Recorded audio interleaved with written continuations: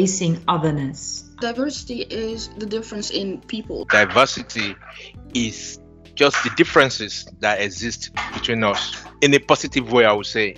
I think that true diversity means that everybody can give their own view of, of, of reality. Diversity could be in terms of people, being surrounded by people who are different from us. Our society is a mix of men and women, people with different social backgrounds, economic backgrounds, people, people with different religions, people with different sexual orientations, people with different ethnicities. It's, it's a state of being we experience diversity because we are diverse. Every person is unique, so I'm different from everybody else. I don't think um, I am very different from people, only uh, maybe my um, color and maybe my culture. Currently in the Netherlands, it's the fact that I'm not Dutch and I'm brand new there. Right now, in my situation, I'm an international person. I come from Bulgaria. I study in the Netherlands, so maybe on a on the ethnicity level, I'm different right now. I'm lucky to have had a lot of world experience. I, I could consider myself like a world citizen. I think mostly my experience and my journey so far that has been in my life. As a student, well, in the first year, I was the youngest of all. I was 16 years old when I started, and everyone was around mid 20s. Currently in my life, I feel a bit different because I'm in the second year of um, of HBO, and I'm 22. So a lot of people uh, in my year are 18 or 19, and I feel different. I got a very direct opinion about something, but also try to see it uh, from someone else's eyes. I think I'm different with my approach to people. I always want to see the best in them. I myself am a white woman in the Netherlands, so I belong to a large part of our society, and, and in that aspect, don't experience a lot of diversity or questions about who I am. If I were a black woman in the Netherlands, I would experience on that particular issue already much more um, diversity. I grew up in Friesland and I speak Frisian, and um, so I know how it is to be bilingual, and I know how important language is if you belong to a minority of the people. I don't know actually. I don't think it's really talked about that much in um, in my study. So I don't really have an answer to that question because it's to be honest, never really discussed the whole matter. I'm an immigrant. I'm uh, from Somalia. I am a little bit different with the skin color because well, I'm from Africa. And uh, I used to be very religious, uh, Muslim, but not anymore. So those, those are things that are not really typical these days, or well, not typical in the northern northern parts of the country it's a challenge to have diversity and feel included. I think it's easier to feel included if there's less diversity, actually. Because if you see people around you who look like you, who have the same ideas as, as you have, it's easy to feel included. And if you have real diversity, which is real people seeing things differently, acting differently than, than you are, uh, than you do, uh, then you won't feel included automatically. Maybe you'll you'll feel some kind of fear of being uh, left out or of being different. Uh, no, I don't need it. No, because of if, if there's not diversity, I don't think that you can also feel included. Not every time. You you can be included in something, not based on your your gender, your age, uh, or whatever. You you can be a group of the same people maybe as in my past a group of my friends we were the same background maybe the same age uh, the same gender we we are not diverse at uh, at some some like criterias it's not that needed but it helps. I think we should learn to stick together despite some differences. I do generally believe that a diverse environment makes you feel more secure um, and encourages to be who you are. You don't have to stick to a norm or fit into a picture in order to feel included or in order to be part of a bigger group. A group with uh, different characters that have different perspectives of life and come from different areas encourage me to also live out the sides of myself that are different to them. I do feel I need diversity to feel a bit more alive or to feel inspired. And this automatically makes me feel more included because then I'm also more curious to ask more questions to figure out whether there are other people out there and also to share more about myself and my points of views and my background. No, I think I do think it's necessary because if I was there with like twenty thousand other people who were like exactly the same like me, I would go crazy.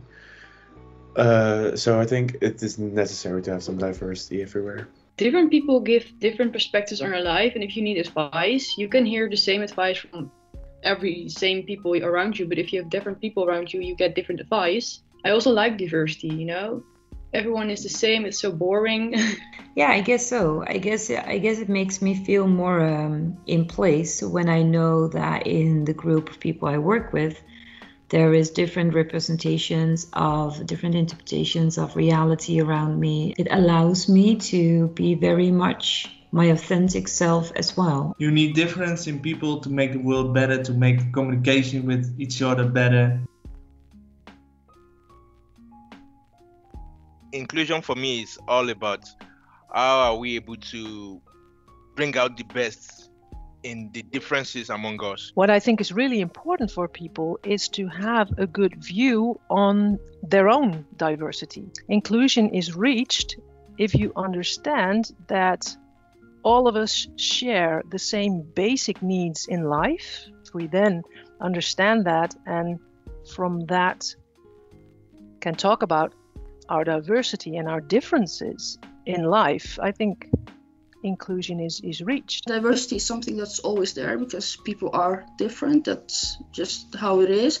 But inclusion is how we uh, integrate the different groups of people, the diversity. I think that diversity is the mix, and inclusion is making that mix work.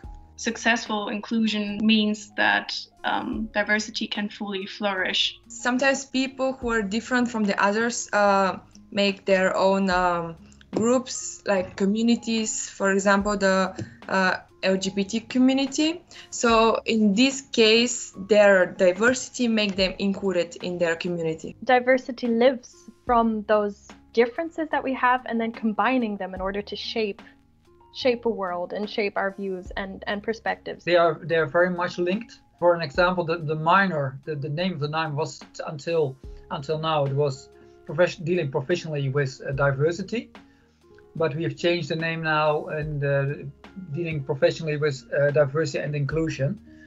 And the goal is uh, inclusion, but you have to work. You have to really work hard on that. That's something we actively have to work on. That um, there is, for instance, an environment where the diversity is appreciated and seen, so that you do feel included inclusion sounds a bit as if we still need to work towards some sort of a group identity, whereas diversity emphasizes the embracing of otherness, which for me is more powerful.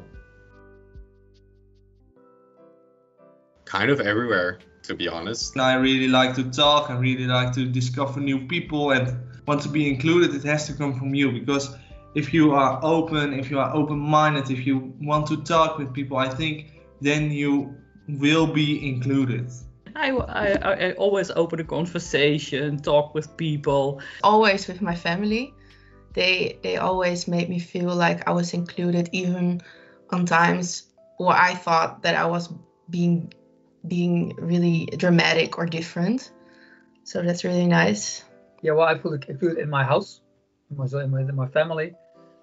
I feel included in uh, in my job more generally at every instance where we where I'm creating things together with other people, playing the bass guitar in a band, for example, and then uh, even though we are very different people in the band, we uh, the drummer starts the rhythm and then he uh, there's four counts and then we start and then we start creating something together and then we feel included and afterwards we uh, we have a laugh. I feel included right now in my uh, team I'm working with, and we we are seeing a lot of different um, like change of view, different points of view. So I feel really included in the whole process, and I also feel included at um, in the whole Windesheim community.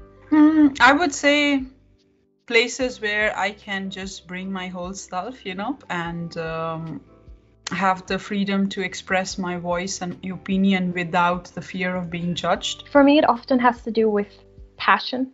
Like if I if I meet groups of people who have a shared passion or a similar passion to me, even if it maybe stems from different fields, I feel very included. Oh, in uh, WHE, I feel very included. Like, um, I'm very standard, normal Dutch girl, but I learned a lot from WHE and from different kind of people, and it really broadened my perspective on how people can be, of what people can be. There was one guy, he was never wearing shoes, and for me that was so odd because, like, in the Netherlands, it's just act normal and that's fine enough. Don't be weird. But it was just so like, yeah, okay, why not? If he doesn't want to wear shoes, that's fine, and that's really nice to accept all the things that isn't normal. Knowing that even though we have differences, um, that that doesn't matter in the sense that it's not a problem, but actually something that is useful and that we can all learn from each other. Without diversity, we rather have like this tunnel vision, um, where we where there's a big picture that we do not see or neglect or are not aware of that it exists. And through diversity, it's like breaking apart this tunnel and and and seeing the full picture that's there. When uh, people don't know a lot of diverse people from themselves, then they don't know how to act around uh, a person like that. Uh, for example, I used to live in a small town uh, in up in the north, and there weren't a lot of black kids or uh, immigrant children like me at school, and people were always like, "Oh yeah, okay." Who is she and i felt very excluded because of that in the beginning but if you have a lot of people like me walking around and living there then people start to include them and it's like it becomes an everyday thing I think differences are really important for better results. When you're all the same, it's getting boring. With diversity, you're getting new insights and uh, you learn a lot more than when you don't have it. if other people uh, were not different from each other, we would still think that the earth is flat or something. the world needs uh, experts in different uh, spheres, uh, people with different uh, professions, with different understandings.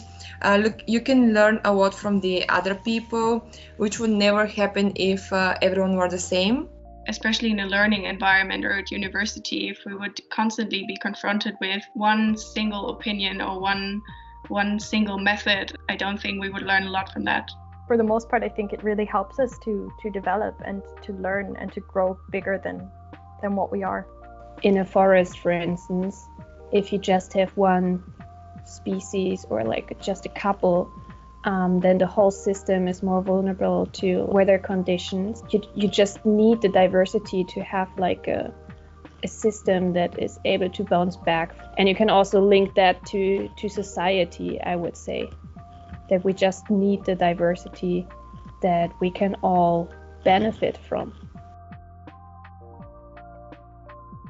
They know more about each other, so that when they have to do the project together, that they uh, yeah, that they can get get better results and that they uh, they know what abilities there, there are in their team. I try to see if they feel they make a, valuable contribution. Uh, you have to make mistakes. That's the point. point, and then you have to see these mistakes and, and learn from them. Besides creating the, the right conditions, there's no real way of, of encouraging inclusion. It just happens if you're working together.